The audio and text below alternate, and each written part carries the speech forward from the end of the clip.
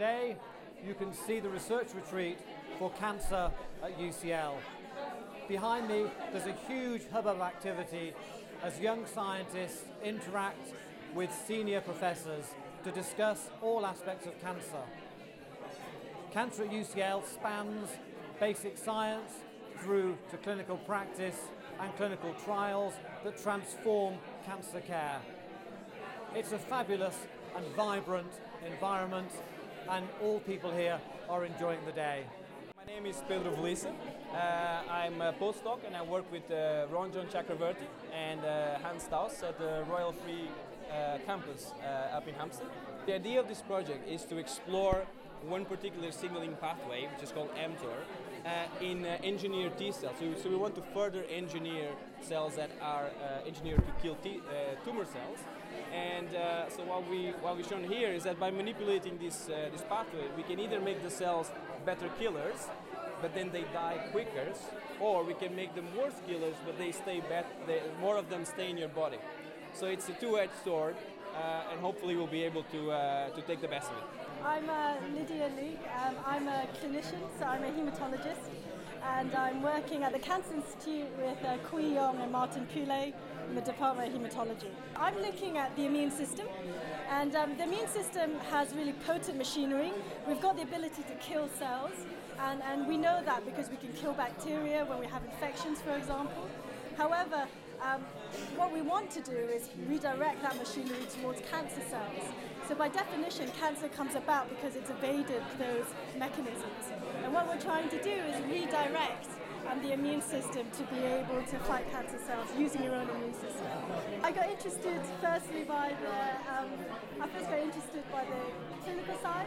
So because I'm a hematologist, I wanted to work in myeloma, and UCL has a large dynamic myeloma department. So I approached them because I knew they were doing some interesting work I've been here since the beginning of the Cancer Institute, and I head one of the research departments, the Cancer Research UK and UCL uh, Cancer Trials Centre.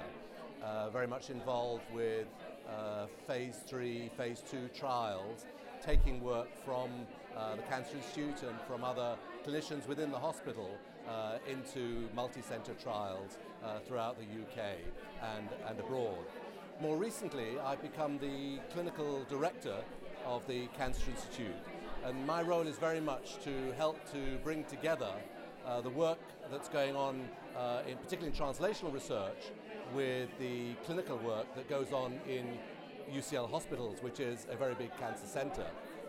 We're really quite uniquely placed at the Cancer Institute, not only being part of a multi faculty university uh, and funded by Cancer Research UK in one of their Cancer Research UK centres, but we are also uh, attached to a very large uh, clinical cancer centre um, of UCL hospitals, uh, which is really uh, well known nationally and, and internationally.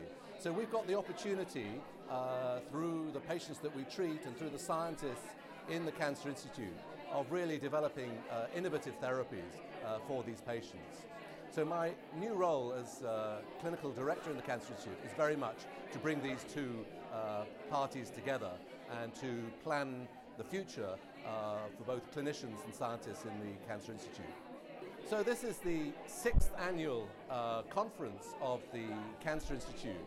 Um, it's been a very successful day um, and as previous uh, annual in, um, meetings have been also, because it brings together uh, the scientists, the clinical scientists and the clinicians uh, because it's very much uh, a, a, conference that spans both the basic science, the translational work, and as we'll hear later this afternoon, some of the clinical activity uh, that's going on uh, within the hospital and the Sarah Cannon Research Institute, which is part of the um, connections that we have through the UCL Cancer Institute. The Cancer Institute is a great place to work because it's large, it's dynamic, loads of interesting things going on, and it's great to be a part of it.